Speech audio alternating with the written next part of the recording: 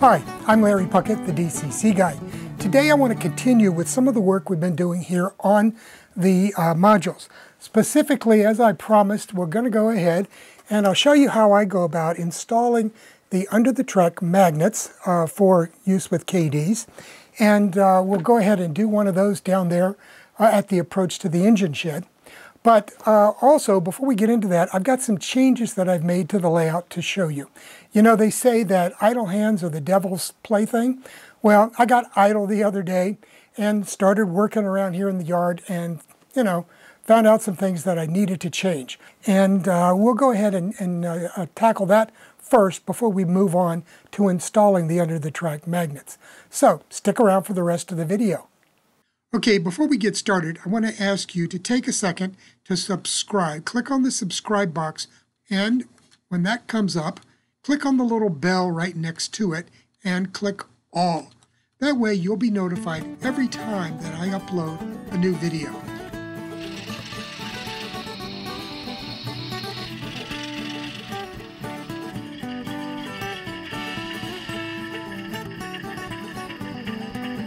Uh, so first, uh, let's take a look at some of the changes that have to come about. Okay, um, in looking uh, at the overall track plan and the uh, kits that I've got to install here, uh, I got out the uh, parts for this for the good shed. This turned out to be a bit bigger than I had remembered, and as a result, when I put in a piece of the of the platform uh, here and added this in, I found out that I needed to either move the shed back or cut it back significantly or do both. So what I decided to do, and this is, let me point out, this is always something you should do. After you've transferred your track plan to the layout, uh, and before you've started laying any track, okay, go ahead and lay some track out, get your cars out, get uh, some structure parts out, or the structures if you've already put them together, and start doing some test fitting. Make sure everything is going to fit the way you planned on it, because all too often that isn't the case, at least I've found anyway. So it's always a good idea to go ahead and make sure that your initial assumptions about how you wanted to do things are actually going to work the way you wanted to do them. Now, like I said, I could take this shed, I could cut it down to just a single wall uh, thickness here, and similarly over here on this side, and it would have fit. But it just would not have looked right uh, as far as that goes. And this very this looks very, very much like the uh, shed that was used at Torrington for this milk loading operation. So I was more interested in keeping this than I was keeping the original track plan as I had done it. So what I did then was I dispensed with this first track that came off the yard ladder and went to the goods shed. And that allowed me to fit the platform in. I can use a narrower piece of, of platform. Fortunately, these Peco kits come with uh, scores and, and the like so that you can make them different widths by cutting off these various pieces. So I can go with a fairly narrow platform on, the, uh, on this side and the wider platform over here for the station.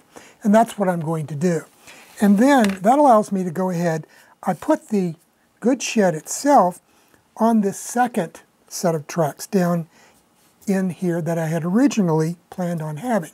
And then the piece of track that went down to the cattle, uh, what I decided to do with that is use it for a just a general use uh, uh, truck. And we can put in a crane right here to unload cars and put in a uh, and put in a dock right here where uh, where we can unload cars as well. So that's my plan right now is to be able to use those. I, I also am planning now on um, laying all of my track, um, at least in the yard, directly on the green foam.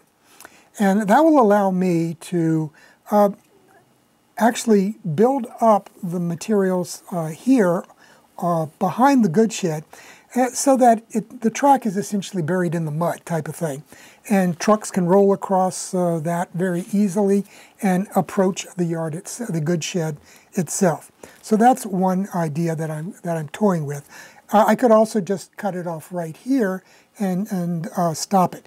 But the good thing about this is, it, you know, it gives you more room to work here on the, on the ladder. It gives you a place where you can back up more cars and a locomotive if you need it to work that way. And that's important for the other reason that I'm going to show you here in just a second. Okay, so what I did is I repositioned the, the, the turnout that was down lower here uh, up, back up into the ladder. And that way it allows me to have a, uh, a, a, turnout that is going out to a track uh, a little bit higher up. And what I'm going to put out here uh, is instead of the uh, domestic coal dealer and, and the track that runs out to the gasworks, I'm going to put the uh, cattle pen right here. That gives me a good straight stretch here after I come out of the uh, turnout to place a magnet uh, for uncoupling cars, and then I can push the cars in here using delayed uncoupling and drop them off in front of the cattle pen, which is this, this kit here, is the outline for the cattle pen itself. Uh, and then uh, that way I will have this whole area out further to the right that will be basically empty. And I'm going to use that for some greenery, a meadow and some trees, and, and you know, give it that bucolic rural England from the 1930s or earlier uh, type of appearance. Okay, so up here on the ladder where I had this turnout running off to this track, uh, to the goods shed, I turned it around and turned it so that it allows me to have another track going off this way uh, to the right that uh, can be used uh, to provide access to uh, a coal dealer located here and then run on over to our gas works over on the far right. And what this does, it adds a lot more interest to the scene because you've got this nice curved track coming out here. It also uh, puts the coal dealer and the uh, coal uh, use at the uh, gasworks uh, on the same track. And also we'll be able to stash a, a wagon over here for coke. So that allows us to work all of that off of that track and separates it from our cattle pen here on the lower left, where I showed you a minute ago, on this other track. So we've got a lot more interest built in here uh, because of this. And also these, I like these nice sinuous curves. If you look at a lot of the uh, track plans, um, for uh, the GWR type track plans, you will see that they had these kind of things quite a lot on them. Uh, I've seen it at uh, the Princetown trucks, track plan. Uh, you look at the Bodmin track plan, it's like that. So, you know, it, it just adds a lot more interest, I think. Okay, so today, as I said earlier, we're going to go ahead and install an under-the-track magnet for use with our KDs. And I'm going to put it right here on the lead to our engine shed. So the first thing we've got is the mainline turnout that is positioned here. That's the final position for it. I've gone ahead and marked it, and I've used these T-pins that are used by modelers a lot of the time. And the reason they're called T-pins is got they have this little T-shaped uh, top on them uh, to make it easier to push them into the into the layout. So I've used those to uh, set the position of the turnout so what we need to worry about doing next is get a straight line up through here so that the locomotive can push a, a car of coal up here. We're going to have a uh, what's called a coal stage, uh, which is where they would put the coal and then they could shovel it into the locomotive uh, later. So uh, let's go ahead and do a quick test on this. I've got one of my 060 steam locomotives here. Okay, that's on the track, and a uh, you can see it's a Loco Coal uh, wagon here. Okay, so that gives us a nice straight stretch right through here where we can put the magnet.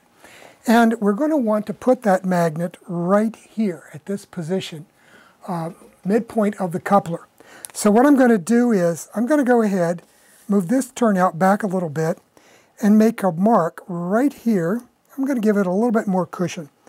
Uh, I'm going to make a mark right here with a little arrow head on it so that we know that's the spot where we want the center of our under the track magnet to be located. So we can now get this locomotive and car out of the way. And let's go ahead and get this out of the package and we can start making some more measurements for that. Okay, so we're going to want it right here. So let me take this out of the way.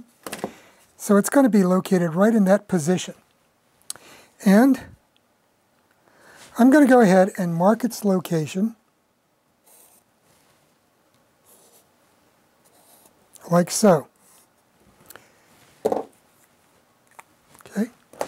Now, another thing that we want to do is to go ahead and draw a line uh, up from the, the turnout so that we have the center line established on this straight approach. Okay, so I'm going to go ahead and set that in there. And then I'm going to step aside a little bit and line it up.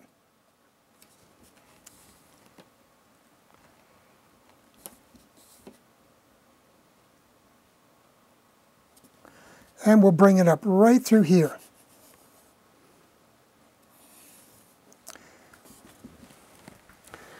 So, as you can see then, we need to move our magnet just a little bit further back on this center line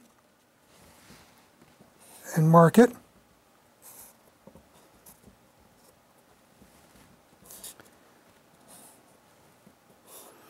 Okay, so that's where we're going to want the magnet. Now the next step will be using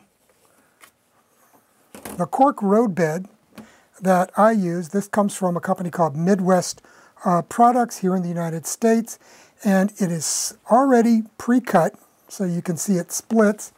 And I can peel that apart like so. And then when I put it together I have the proper width for HO scale and as you can see the sides over here are tapered so that gives me that profile that we want for the road bed. Okay, so let me go ahead. I'm going to move this magnet out of the way. And the next step will be to go ahead and plan for the rest of this track because we know this is going to be the straight center line. And I went ahead and marked, let's take a look at this real quick.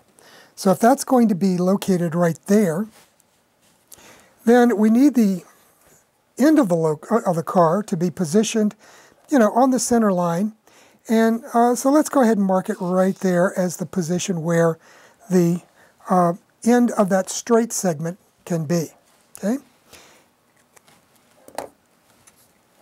And now I've got a piece of track to play with. So we're going to lay it on our center line here.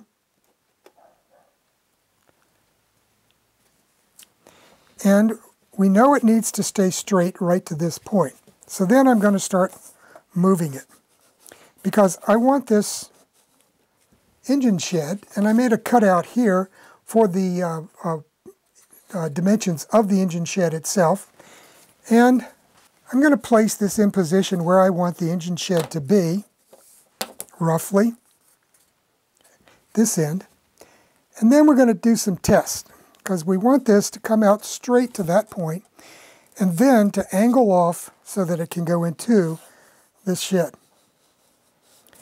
And, you know, these curves can be pretty tight. We're not wedded to a very uh, uh, wide radius because these little 060s, particularly the one that's going to be stationed here, is going to be able to go through fairly uh, short radius curves. Okay, so that's about what we want right there. What I'm going to do is take some of these pins and pin the uh, piece of track down into the position that I want as far as the straight segment like so. And I'm going to put a couple here in the center just to keep it from moving around like that. And then I can go ahead and bend it to the final position I want for the engine shed out here. Okay, And we're going to put a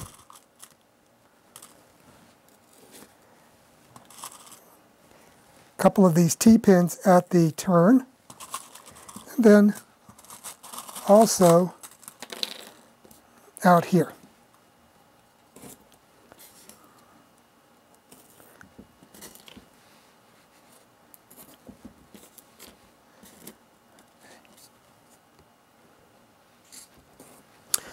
Okay, so that way we'll have a nice straight approach where the locomotive can come in and cut loose a car right here, uh, this load of coal. And the locomotive itself, uh, when it's done with its duties and is through for the day, can go ahead and be placed in the engine shed for its storage overnight. So what I want to do then is go ahead, let's get our magic marker or Sharpie out, and I'm going to mark the dimensions here, or the position anyway, for the outside of the track, like so. And uh, I'm going to finish up out here at the end, although it's not going to be this long. Okay? And I'm going to mark the center point here and a center point here. And we'll go ahead and do a bunch of center points along this curve so we can get that right every time. And then we've already got the center here marked. Okay? And this guy is marked. Okay. So now, now we need to go ahead and start cutting the cork to fit in these positions. Now, the reason I'm not going to go ahead and lay cork out here at this point is for two reasons. First off, until I get the electromagnets in in the order that I've placed with Walthers, my Walthers dealer, uh, I can't go ahead and install those down the main. So therefore, I cannot go ahead and, and install anything here on the main. Also, I don't have my Bluepoint controllers. These are what I'm going to use to control the turnouts here on the layout instead of tortoises. You'll see they work just pretty much like a tortoise, right through there. You throw those little projections there, and that causes the uh, swing arm here to activate. It also has a nice double pole, double throw switch here on the bottom that you can use for controlling polarity of the frogs. So I've got these on order too. So I'm kind of stuck for now, but at any rate, when those come in and we can go ahead and finish uh, laying the rest of the main line, I will trim off this part of this uh, piece of, of uh, cork bed, road bed so that we can lay the, uh, the, the, the main line right up against it. So, but for now though, all I'm going to do is cut it so that the we can go ahead and install it right here. Okay. And then we're going to need a companion piece for the other side. And by the way, let me point out, if you're using this cork roadbed, uh, because of the way it's cut, they're not exactly the same dimensions on each side. So you can't mix and match. One side is a little bit wider, so don't try to do that. What you want to do is lay them right up against each other like this and make your cut.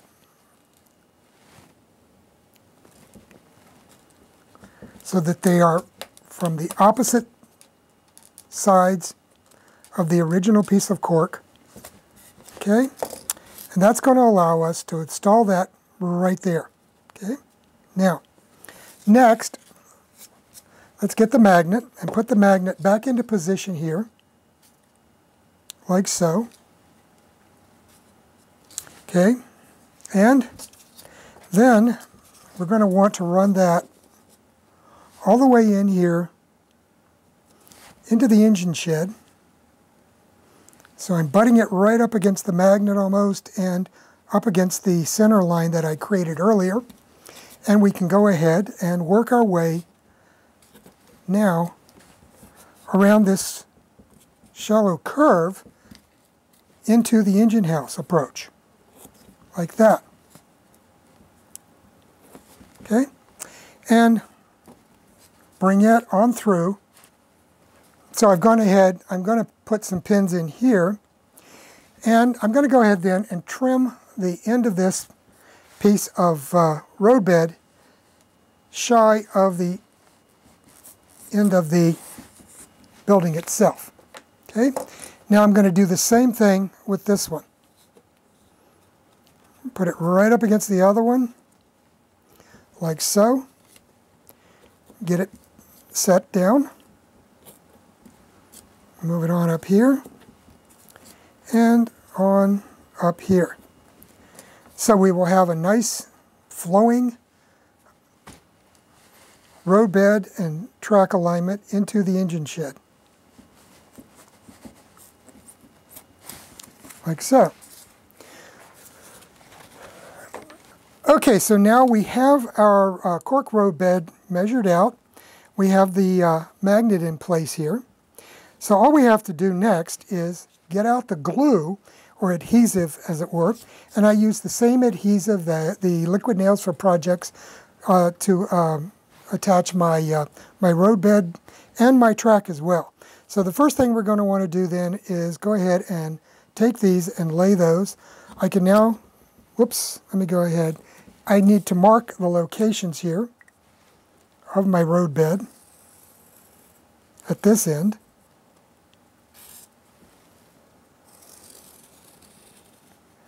Like so, all the way around.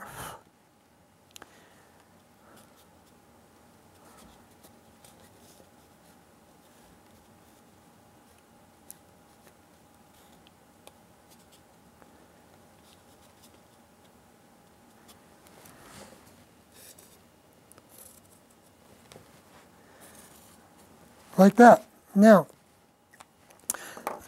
now we can pull all these pins out, now that everything is marked. Keep them out because you're going to need them to hold everything down while the glue or adhesive sets up.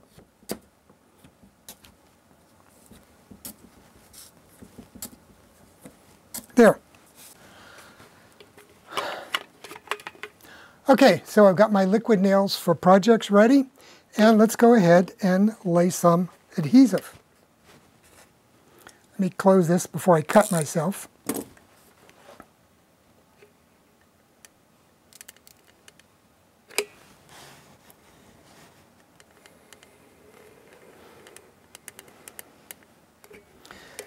Okay, so that's done. And now I've got my putty knife again, so let's go ahead and we're going to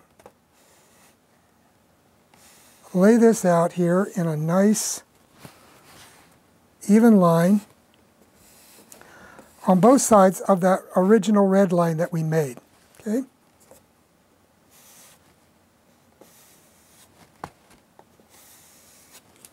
Like that. So we know exactly where that center line is.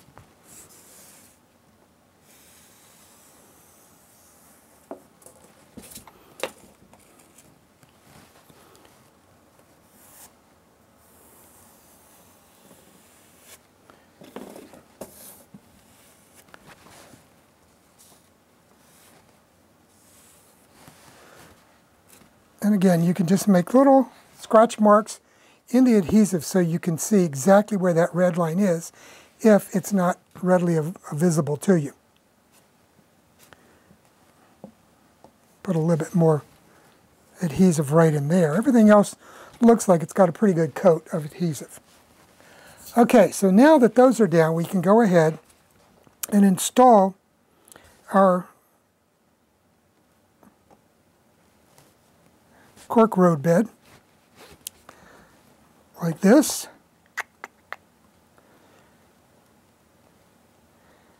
Make sure that that center line is over top of the uh, center line that we drew earlier. There. And just press that into place like that. And then I'm going to use a couple of pins here and a couple of pins out here to hold everything in place while that adhesive sets. Okay. Now, let's go ahead and we'll uh, work on this edge. I want to make sure I've got a good clear view of where those red center lines are located. I'm also, just to be sure, going to There, get that out of the way. I'm going to put the magnet back here between the uh, between the ends of the roadbed and go ahead and set that first one there. Pull it back just a hair. There we go. Okay. And then come up here. And basically I'm just following that line that I drew to establish the shallow curve into the engine house. There.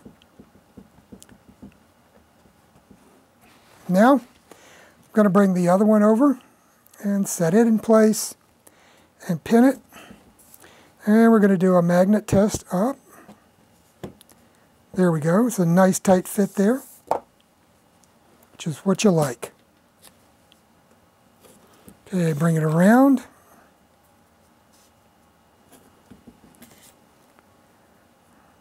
Like so.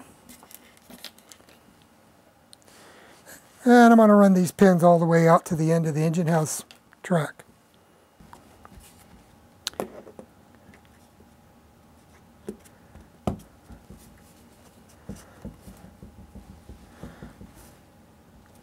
Okay, and that's all there is to it. And we'll eventually be able to lay our track on top of the roadbed right over the magnet, just like I've shown you for installing the roadbed itself. I'll put a bead of the uh, adhesive on the roadbed and across the top of the magnet, smooth it all the way out uh, along the length of the cork, and then we can lay the track right on top of it. And we'll do that for the turnouts as well. So that'll be the, I think, the next thing we'll be doing. Hopefully, uh, by next Friday, the electromagnets should be in. And for the and that's going to uh, mean that we can go ahead and do a video next Friday, hopefully, on installing the KD electromagnets. Well, I hope you got something out of that exercise, uh, both the redesign of the uh, freight yard or the goods yard, and also installing the under the track magnet for use with KD couplers. So uh, let's see, on Monday. Monday we're going to go ahead and I'm going to do some more with uh, KDs, uh, specifically how to install them and how to fine tune them uh, when you do install them so they will work reliably for you. So have a great weekend, you know, be safe, uh, wear your mask and avoid COVID. And I'll see you again here the first of the week with the video on installing KDs in your rolling stock and your locomotives. So, see you then. Bye now.